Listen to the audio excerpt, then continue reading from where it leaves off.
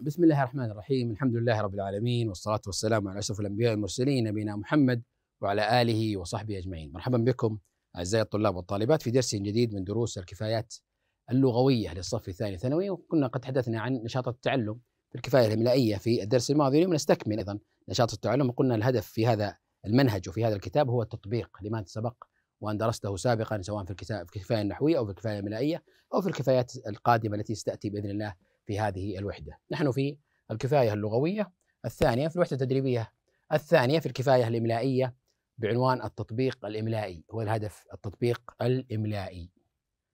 الأهداف التدريبية يتوقع منك في نهاية هذه الوحدة أن تنشئ فقرات ونصوص دون الوقوع في أي خطأ إملائي موظفا علامات الترقيم وملتزما بأعراف الكتابة. أيضا تلقي نصوصا مراعيا مواطن الوقف وسلامة التنغيم. أيضا تصلح الأخطاء الإملائية والترقيمية في أي جملة أو نص يعرض عليك. أيضا تميز بين همزتي الوصل والقطع نطقا وكتابة. أيضا تحدد الحروف التي تزاد أو تحذف من الكلمة والكلمات التي توصل أو تفصل.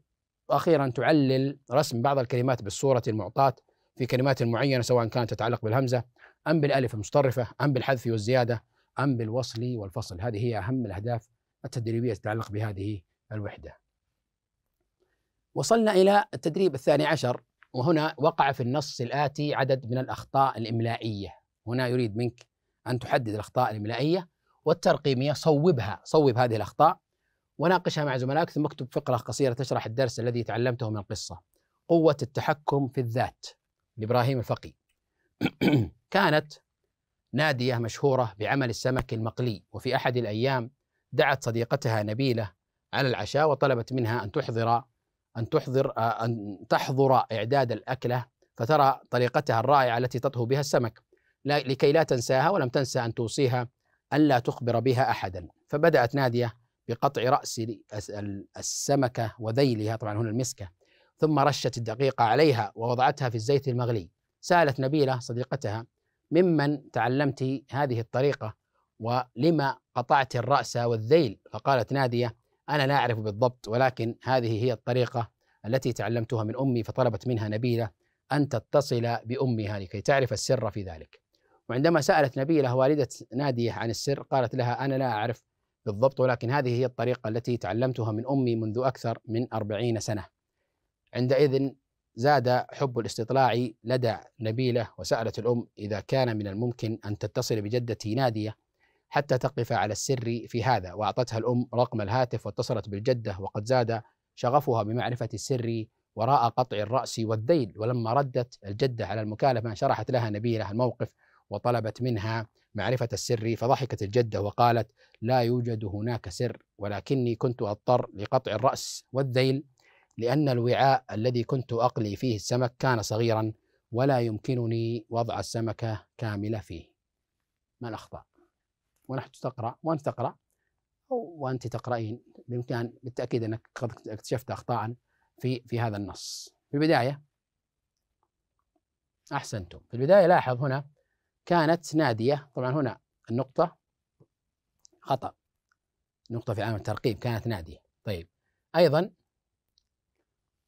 إعداد الأكلة والأكلة هنا بالتاء وليست بالهاء بالتاء المربوطة الأكلة بالتاء المربوطة أن تحضر إعداد الأكلة. جميل. أيضا لكي لا هنا كي ولا مفصولة مفترض أن تكون متصلة في الوصل والفصل. لكي لا. جميل. أيضا من الأخطاء. أن لا. أيضا هنا أن ولا. والاتصال ألا ألا تخبر. هنا أن ولا. أيضا هنا المسكة خطأ وأنا قرأته أيضا. بقطع رأس المسكة أصلها سمكة لكن هنا في قلب السمكة والمسكة. لاحظ سألت نبيلة طبعا هنا علامة التنصيص. الأصل أن تكون علامة إما بين علامة إيش؟ قوسان. أفضل من أن تقول أو تكون سألت نبيلة مباشرة بدون قوسان لأن هنا أو التنصيص يكون إذا كان نص مقتبس كما عرفت. طيب. من من؟ أيضا هنا فيه وصل. ممن تعلمت. من ومن؟ اتصال. حرف الجر بمن؟ الاستفهامية. ويجب حذف هنا النون. أحد النونين. أيضا ولما؟ هنا لما؟ ما؟ الاستفهامية. عند اتصالها بحرف الجر تحذف فيها الألف. ألف الاستفهام. ولكن تبقى في الموصولة. وهذا أيضا من الدروس التي سبق وأن أخذناها. ولما؟ ولما قطعت؟ جميل. أيضا هنا ولما قطعت الرأس والذيل وهنا علامة استفهام وليست علامة تأثر. سؤال لما قطعت؟ هنا علامة استفهام. أيضا هنا أنا لا أعرف بالضبط هنا علامة التأثر تكون هنا. أيضا لكن هنا زيادة الألف والأصل أن تحذف الألف ولكن تكتب بدون بدون ألف. جميل. عندئذ عندئذ وعندئذ هنا أيضا تتصل الكلمتان. عندئذ وحب آه، الاستطلاع لدى لدى هنا من الأسماء المبنية المستثناة التي تكتب بألف على صورة ياء من غير منقوطة وليست ألف على صورة ألف قائمة. أيضا ولكني أيضا لكن هنا في خطأ. صغيرا عندما كنت صغيرا وهنا أيضا من التنوين كان السمك كان صغيرا ولا يمكنني وضع السمكة كاملة فيه. جميل. لاحظ هنا هذه الكلمات أو هذه هنا يقول في الأخطاء الإملائية والترقيمية. الترقيمية مقصود بها أيضا علامات الترقيم علامات الترقيم. جميل. هنا ما الدرس الذي استفدته من هذه القصة؟ هذا سؤال ما الدرس الذي استفدته من هذه القصة؟ يقول هنا اكتب الدرس الذي استفدته من هذه القصة. ما رأيكم؟ اكتب ما تريد أو اكتبي ما تريدين. هنا ما الدرس الذي المستفاد من هذه القصة؟ جميل. هنا تقول مثلا أن الإنسان يجب أن يبحث عن الحقيقة. في هنا الحديث عن حقيقة ولا يكون ولا يكون مقلدا للآخرين دون وعي. هنا تقلدت أمها مثلا أربعين سنة ثم اكتشفت أن السر أصلا في قطع الرأس والذيل أن الوعاء كان صغيرا فقط ولا ليس هناك سر إذا. بإمكانها كانت أن تطهو أو تقلي السمكة بدون قطع لرأسها أو لذيلها. لكن هنا درس مستفاد من هذه القصة أن الإنسان يجب أن يبحث عن الحقيقة ولا يكون مقلدا للآخرين دون وعي. جميل. هنا ثالث عشر اقرأ الفقرة الآتية قراءة جهرية مراعيا سلامة الضبط وصحة الوقفات ومناسبة التنغيم ثمرات الأوراق. كان أبو العلاء المعري يتعصب للمتنبي فحضر يوما مجلس المرتضى فجرى ذكر المتنبي فهضم المرتضى من جانبه. فقال المعري لو لم يكن لأبي الطيب إلا قوله لك يا منازل في القلوب منازل لكفاه فغضب المرتضى وأمر به فسحب وأخرج. وبعد إخراجه قال المرتضى هل تدرون ما عني بذكر البيت؟ قالوا لا والله.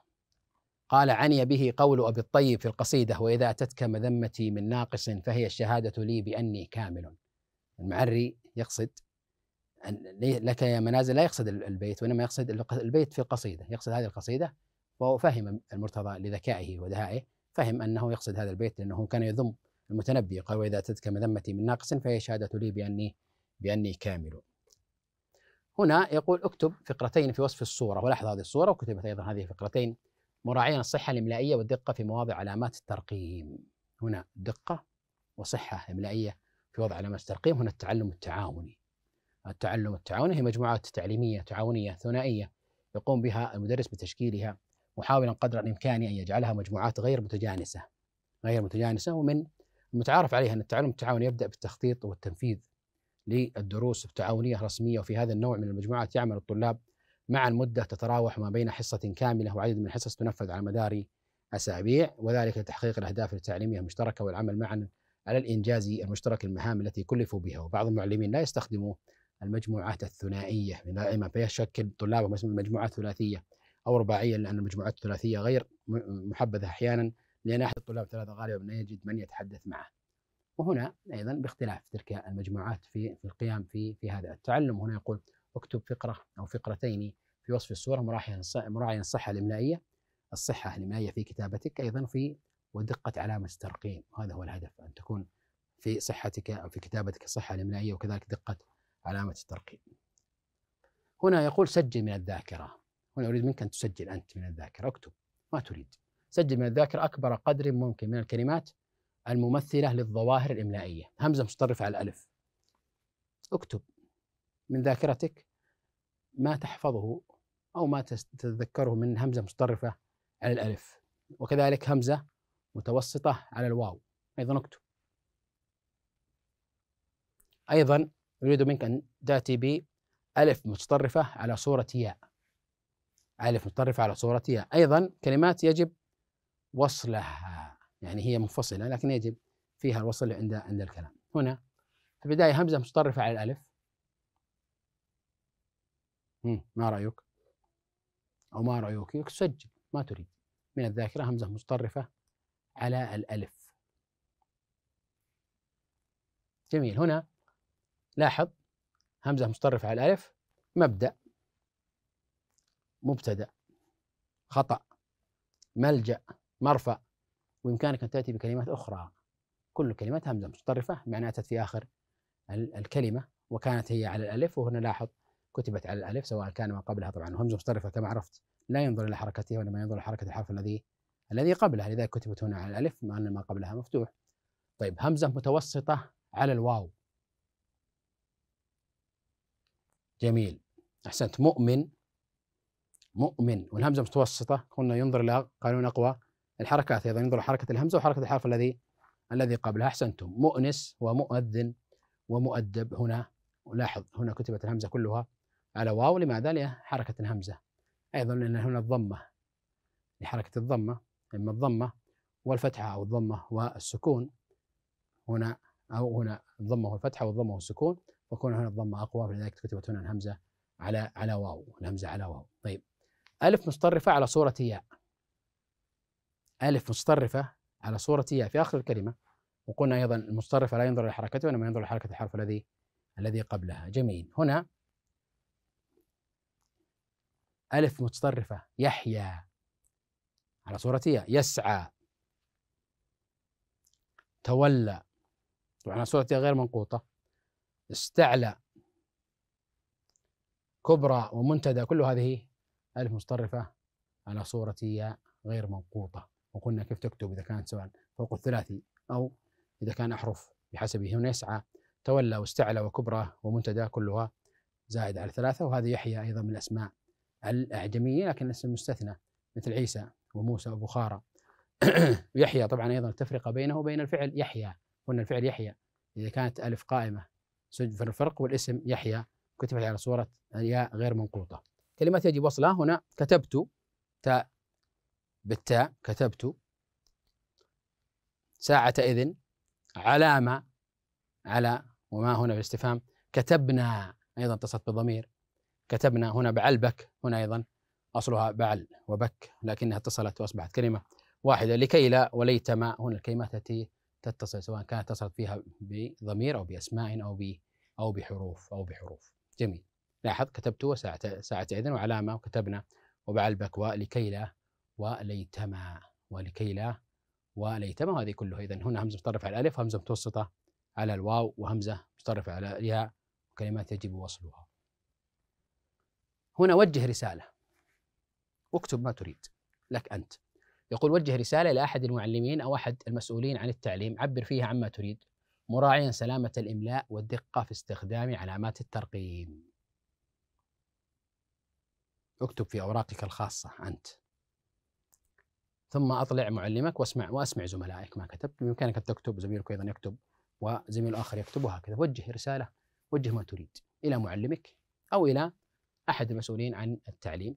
اكتب طبعا وأنت تكتب الهدف من الكتابة التعبير وذكر ما في خاطرك أو في ذهنك وما تريد أن توصله من رسالة إضافة إلى أنه وهو الهدف الأهم تطبيق علامات الترقيم والسلامة الإملائية. أنت عرفت السلامة الإملائية وعرفت أيضا الوصل والحذف والذكر والزيادة وعرفت أيضا المواضع التي يجب فيها وضع علامة ترقيم عرفت الفاصلة والنقطة والتأثر واستفهام إلى آخره. مثلا لاحظ هذه رسالة لأحد زملائكم وسنقرأ منها. نقول معلمي الكريم. وهذا المرسل إليه. طبعا في البداية أن تكتب المرسل المرسل إليه. ما هي إلا أشهر قليلة وأكون قد أنهيت هذا المستوى من حياتي التعليمية وبدأت مستوى جديد في هذه اللحظات تدور في ذهني تساؤلات عديدة. هل استفدت كما يجب في هذا المستوى؟ ماذا أنجزت فيه؟ هل قصرت؟ هل كان بإمكاني أن أستفيد أكثر في الحقيقة لقد استفدت كثيرا ولكن كان بإمكاني أن أحقق المزيد لأن الهدف من التعلم هو معرفة أساليب التفكير والبحث عن المعلومات ومعالجتها وتحليلها والتوصل إلى استنتاجات وحقائق جديدة أما ما تعلمته فعلا فهو أن المعلم هو الإنسان الذي يريد لنا كل خير فيزودنا بخلاصة علمه وتجاربه وخبرته. الإنسان الذي ترى فرحه فرحة الإنجاز في عينيه عندما يتخرج طلابه. معلمي لك أعظم عبارات الشكر والتقدير والامتنان. طالبك المجد. لاحظ هنا. مرسل إليه. ثم العبارة. هنا كتبها. وفيها علامة استفهام علامة ترقيم وفيها أيضا فاصلة وفي هنا فاصلة منقوطة من هنا سبب ونتيجة. أيضا هنا فيها نقطة نهاية فقرة. ثم بداية فقرة جديدة ثم المرسل الذي أنهى هذه أنهى هذه الرسالة وهذا هو الهدف أن تكتب. وأنت تريد أن تكتب ما تريد أو اكتب ما تريد بما بما ترى. ثم أعرض ذلك على معلمك وهذا هو الهدف من من الكتابة حتى تعرضه بصورة يجمع فيها علامات الترقيم والأساليب الإملائية والدقة في هذه الاستخدام. هنا اعمل مع أحد زملائك قم مرر بدور يعني قم مرة بدور مملي ومرة بدور المملى عليه سواء أنت تملي أو يملى عليك حاول أن تملي على زميلك كلمات وجملا صعبة الكتابة ثم صحح أخطاءه ودعه يصحح أخطائك. اكتب ما يملى عليك أو ما يملي عليك زميلك. هنا اكتب. ما يملى عليك مثلا أملى عليك زميلك قلنا علامة ترقيم تنظم الكتابة. فالموضوع مكون من فقرات والفقرات مكونة من جمل والجمل مكونة من كلمات. وحتى لا تختلط الكلمات أو تتداخل الجمل والعبارات فكان لابد من وجود علامات الترقيم ففي وجودها يتحقق التناسق والانسجام. بين فقرات الكلام لأن القارئ لم يحظى برؤية الكاتب وسماع نبرته الصوتية نبرات صوته وحركات يديه. وهنا بإمكانك تكتب ما تريد. هنا بعد ذلك أنت تصحح أخطائك وهو يصحح الأخطاء التي قد مر مر بها وهذا هو الهدف. دعه يصحح أخطائك أو يصحح صحح أخطائه ودعه يصحح أخطائك بمعنى أنك أن تنظر إلى أخطائه وتصححها وهو ينظر إلى أخطائك ويصحح تلك الأخطاء وهذا أدعى إلى معرفة الأخطاء وكل يرى خطأ الآخر وكل يرى خطأ الآخر. بعد ذلك بإمكانك أن تعدل تلك الأخطاء وأن تعرفها في في تميزها ثم تفهمها وهذا هو الهدف في الإملاء. وأيضا بعد ذلك سيملي معلمك عليكم كلكم أيضا هذا الإملاء وفي تطبيق علامات الترقيم وفي معرفة ذلك. هنا يقول تبادل أيضا كتب كراستك مع عدد من زملائك. دعهم يصلحون أخطائك الإملائية وأصلح أخطائهم ثم لخص الجدول. ضع اكتب الخطأ ثم الصواب. طبعا اكتب نماذج من الخطأ ثم الصواب. سنكتب نموذج أو أكثر من نموذج ما تريد. ثم خطا ثم صواب. بعض الكلمات بمعنى أن تاخذ دفاتر وكراسات أو كتب وكراسات زملائك ثم اكتب الخطأ ثم اكتب الصواب. والأخطاء المتوارده أو المتعارف عليها أو الأخطاء اللي دائما تأتي وتحصل عند الطلاب. ونقول مثلا بعض الأخطاء اختبار مثلا. هنا في خطأ. ما الخطأ؟ أنها كتبت بهمزة والأصل لا تكتب بهمزة أحسنتم.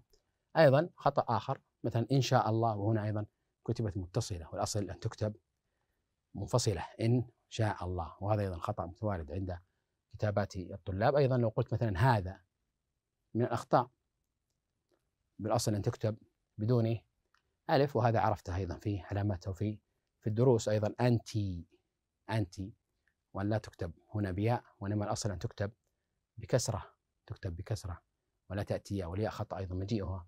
أيضا هنا يبدأ والأصل أيضا أن تكتب بالهمزة فوق الألف يبدأ الهمزة فوق الألف وأيضا هذه من الأخطاء المتكررة عند أغلب الطلاب في كتاباتهم. أيضا هنا قرأه قرأه قراءة. لو قلت قرأه لو قلت أنا قرأتها قرأ لكن هو يقصد مثلا لو كتبها بهذه الطريقة يقصد قراءة.